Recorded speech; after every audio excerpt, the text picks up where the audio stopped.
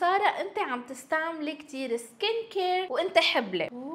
كتير relaxing صراحة. رح شيل الرؤوس السوداء. أنا بإيدي شايفين حوالي عيوني؟ هاي يا حلوين كيفكن؟ صبايا اليوم رح حول الاستوديو تبعي لسبا كوري. انتو بتعرفوا قد إيه I'm obsessed with K beauty كل شي Korean خاصه بالجمال. أنا كتير كتير بحبه كتير مهووسة فيه. وخصوصي ال skin care الكوري. كلنا سمعنا وكلنا شفنا على الإنترنت ال overwhelming 10 steps Korean skin care so كرمال تحصلوا على glass skin حسب الإنترنت لازم نعمل عشر خطوات ما بينتهوا الفيديو بيكون طوله ساعة. اليوم رح نعمل هول الخطوات بس بشكل كتير مختلف ورح يكون كتير relaxing وكتير حلو الفيديو. أنا كتير متحمسة so إذا أنتو كمان keep on watching. بس قبل أكيد ما تنسوا تعملوا subscribe لل channel تبعي وخلينا نبلش. مثل ما ملاحظين إنه أنا حاطة full makeup معقولة تفكروا إنه سارة أنت عم تستعملي كتير skin care وانت حبلة. شو الوضع؟ جايز ال skin care رح اعرفكم عليه اليوم. اولا هو Korean Korean Korean مصنوع بكوريا. ثانيا لأنه كتير natural ingredient هذا الشيء اللي أنا بحبه كتير بال skin care الكوري إنه المكونات كتير natural جايبين مكونات من الطبيعة وهن حاطينها بقلب ال products تبعهم. so so لأنه ال products كتير فيهم مكونات natural لهالسبب أنا بقدر استعملهم وكتير safe وخصوصي لل sensitive skin بما أني حاطة full makeup so رح نبلش أول شيء بإنه نشيل الميك اب رح قرب الكاميرا على الوجه كرمال تشوفوا بالتفاصيل شو عم بيصير. رح نبلش أول شيء بال cleansing oil ال cleansing oil رح استعمله رح يكون من brand اسمها Be The Skin وأكيد هي brand كورية. ال product اسمه Pore Reset Glass Skin وبما إنه عم نحكي قد إيه الكورية كثير بيهتموا إنه ال products تبعهم يكونوا natural هذا ال cleansing oil مصنوع من سبعة زيوت نباتية معمول خصيصا كرمال تشيل الجلد الميت عن البشرة وتفوت بقلب المسام تتنظفها كتير منيح. بنفس الوقت تضل hydrated وتضل البشرة مرطبة. so خلينا نبلش. أول شي رح أحط ثلاثة pumps على ايدي ورح بلش أعمل مساج للوجه. كرمال يقدروا الزيوت يفوتوا كتير منيح على قلب المسام. ليشيلوا لنا الميك اب. ومن المكونات الطبيعية هي نبتة Centella Asiatica. هيدي النبتة كتير بتساعد على تهدئة البشرة وكتير مناسبة للبشرة الحساسة. واللي بحب أعمله هو إني أعمل مساج لمنطقة الأنف لأنه كمان كتير بتساعد إنه نشيل الرؤوس السوداء والبيضاء من هالمناطق. الزيت كتير lightweight ولاحظوا كيف بس نحط مي كيف بيتحول لونه لأبيض. هيدا الشيء بيعني إنه إزالة الزيت عن الوجه رح تكون جدا جدا سهلة.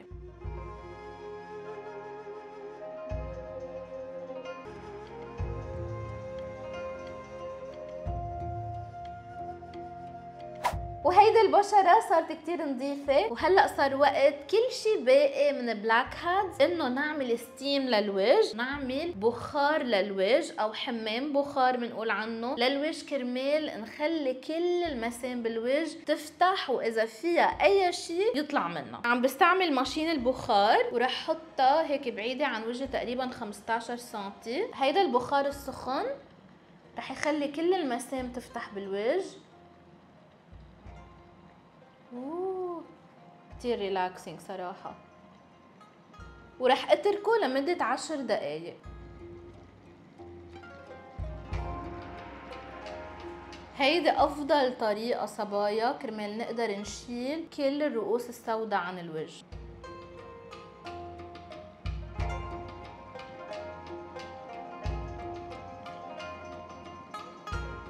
هلا اتاكدت انه كل المسام بالوجه فتحوا اللي رح بيصير هو انه رح شيل الرؤوس السوداء. أنا بإيدي. كيف؟ باخد ورقة كلينكس مثل هيدي. بلفها على إصبعي وكتير ضروري نلف الكلينكس على إصبعنا وما نكون عم نشيل الرؤوس السوداء بإيدينا أو بضفيرنا لأنه في كتير بكتيريا ونحن ما بدنا هيدا الشيء so بلف بهالشكل. ثاني إصبع كمان نفس الشيء وهلا في عندي هون ما بعرف إذا قادرين تشوفوها هون.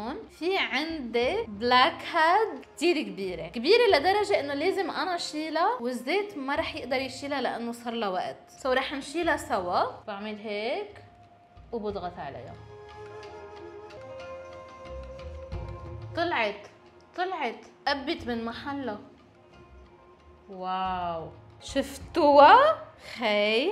كثير انبسطت اني شلتها. so هلأ برجع بتطلع على وجهي. مش كل شيء كل شيء يعني إذا في حبه ما بشيلها بس بتطلع على وجهي وبشوف وين في عندي رؤوس سوداء مثل على الأنف هون.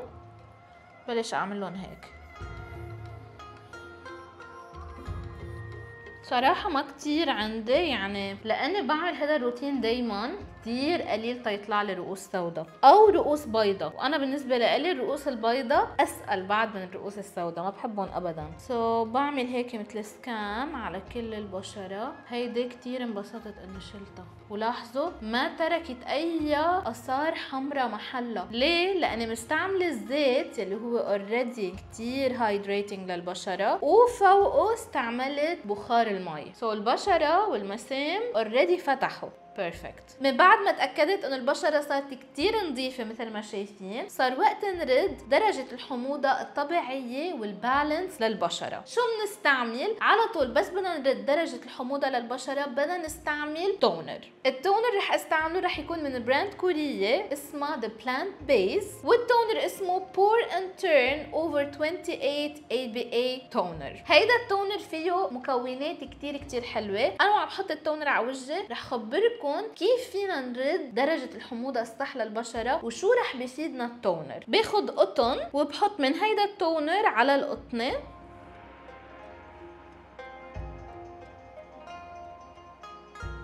وبالقطنة بلش أعمل مساج للوجه بهيدا الشكل وأمسح البشرة. المكونات المعمول منها هيدا ال toner كتير كتير منيحة. so رح خبركن عنها. اولا معمول من tannin oil alpha hydroxy beta hydroxy ومكون جديد سامع عنه وكتير حبيته اسمه galactomyces هيدا المكون بخلي البشرة تبين كتير سموث كتير ناعمة كأنه مراية. وغير إنه بيرد الحموضة الصح وال pH level الصح للبشرة. من بعد ما نكون غسلنا الوجه نظفنا الوجه كثير بحاجة إنه نرد الحموضة الطبيعية للبشرة. وغير هيك ال toner بيشيل الجلد الميت عن البشرة. كثير كثير صبايا بعرفهم بيعملوا skincare كثير حلو لبشرتهم بس هيدي الخطوة بيتخلوا عنها هيدي الخطوة كثير كثير أساسية صبايا. ال toner كثير مهم إنه نستعمله على البشرة وهو اللي رح يحضر لنا بشرتنا لباقي الخطوات الجاية. بما إنه بشرة بشرتي هلا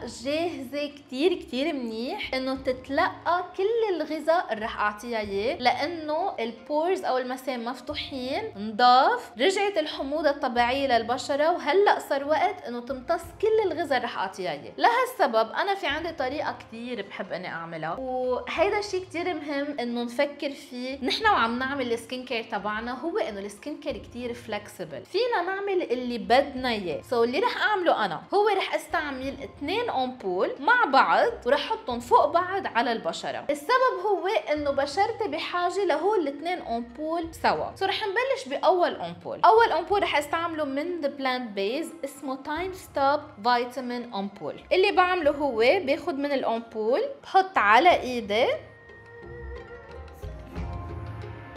بفرك الأمبول هيك بتوزع على إيدي وهلأ بلش أحط نحطه على البشرة بهذا الشكل. هذا الأمبول فيه 14 فيتامين و7 hyaluronic acid. هيدا ال combination رح تعطيكم glowy skin بشكل كتير كتير حلو غير إنه رح تعمل مثل طبقة vitamins فوق البشرة تتحمي البشرة وبتشربها البشرة بشكل مش طبيعي يعني ما بتبقى فوق البشرة. بتشربها البشرة هيك. يعني هلأ حطيت الأمبول لاحظوا؟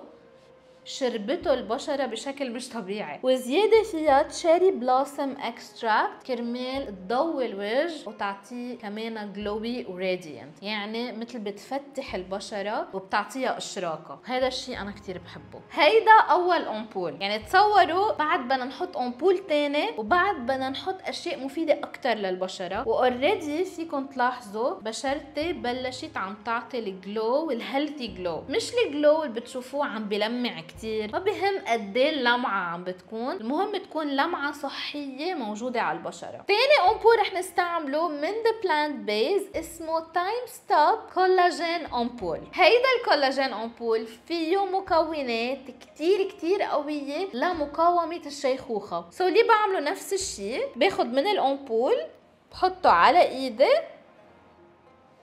بوزعه على الإيد بهيدا الشكل وبنفس الطريقة بوزعه على الوجه. مكونات هيدا الأمبول كتير كتير قوية ويمكن أول مرة سامعين فيها. ومن أهم المكونات الموجودة هي 76% من hericium erinaceus extract هيدا المكون مع تاني مكون اسمه سينكول بحاربوا علامات تقدم العمر بشكل مش طبيعي. وهن كتير كتير متقدمين هلا خصوصي بال skin care. بيساعدوا على مقاومة علامات التقدم بالعمر يلي هن التجاعيد اللي بنشوفهم حوالي العين. شوفوا أنا حبلة وماني عاملة بوتوكس وهذا الشيء أصلا ما فيني أنا أعمله. شوفوا بس إضحك شايفين حوالي عيوني؟ guys أنا بديسمبر بصير عمري 30 سنة. شوفوا. إنه الناس أوقات بيحسدوني على هذا الشيء بس skin care عن جد. كثير كثير منيح بدنا ننتبه شو هن ال products اللي عم ننقيهم لل skin care تبعنا لأنه بنكون عم نستثمر ببشرتنا. وهيدي نتيجة البشرة من بعد ما حطينا الامبول خبروني شو رأيكم بال comments لهلأ. قبل آخر خطوة لهيدا ال skin care كثير كتير مهمة يلي هي كريم لتحت العين. وال eye cream رح استعمله من بي ذا سكين اسمه Vita Vita Circle Zero eye cream بحط من ال eye cream تحت العين بهيدا الشكل. والحلو في هذا ال eye cream إنه فيه مركب vitamins اللي هن B 3 و B 5 يلي بيساعدوا إنه تحت العين يبين مشرق وكتير كتير مضوى. so بيساعدوا إنه ما يكون فيه هالات سوداء. وغير هيك فيه 11 peptide وهول ال 11 بيبتايد بيساعدوا إنه منطقة تحت العين أو حوالي العين ما يكون فيها تجاعيد وتكون كتير firm وشادة. so هيدا ال combination combination بين ال vitamins وال peptides كتير كتير مفيدة لأنه أولا رح نستعمل أقل products أو أقل ميك اب على العيون لأنه ال peptides هن بيشدوا تحت العين وما بيخلوا البشرة هيك wrinkly أو فيها تجاعيد. هذا الشيء بيساعد على ال creasing بال makeup يعني بس نحط concealer أو ميك اب تحت العين ما رح بيشقق. واللي بحب أعمله أنا كرمال أقدر أتأكد إنه تحت العين أو حوالي العين عم ياخد كل ال product هو إني أعمل مساج بهالطريقة. وهو بثواني رح تشربوا البشرة بهالشكل. وال texture تبعه ابدا ابدا منا ثقيله مني حاسه فيه على البشرة لأنه في أوقات في eye cream بيبقوا كتير تقال. هذا منه ثقيل تحت البشرة بالعكس كتير خفيف وما بتحسوا فيه وما بيتعارض مع ال makeup so, تحت العين ما رح بيشقق أو ما رح بيفرط هيك بتحسوا أوقات عم يفرط. هذا الشيء ما بيصير مع هذا ال eye cream من بعد ما رطبت تحت العين صار وقت إنه ننتقل لل sunscreen يلي هي خطوة كتير كتير كتير كتير أساسية بال Korean skin care. وال sunscreen رح أستعمله رح يكون من بي ذا سكين اسمه Sebum Zero Aloe رايس فيجن sunscreen. شو هن الأشياء اللي بدنا ننبش عليها بال sunscreen يلي كتير مهمة بالنسبة لإلي؟ أولا حماية كاملة من الشمس يعني 50 SPF ثانيا يكون فيه oil control يعني ما يكون كتير مزيت على البشرة وتبلش البشرة تبرق وتبلش تطلع كتير إفرازات دهنية كمان هذا الشيء موجود بهذا ال sunscreen وبنفس الوقت ما ينشف الوجه يرطب الوجه وما يكون فيه white cast guys ال sunscreen مش هينة إنه نلاقي شيء كتير مناسب لبشرتنا. so رح أستعمل هيدا ال sunscreen واللي بحب أعمله هو حط على أصبعين بهيدا الشكل.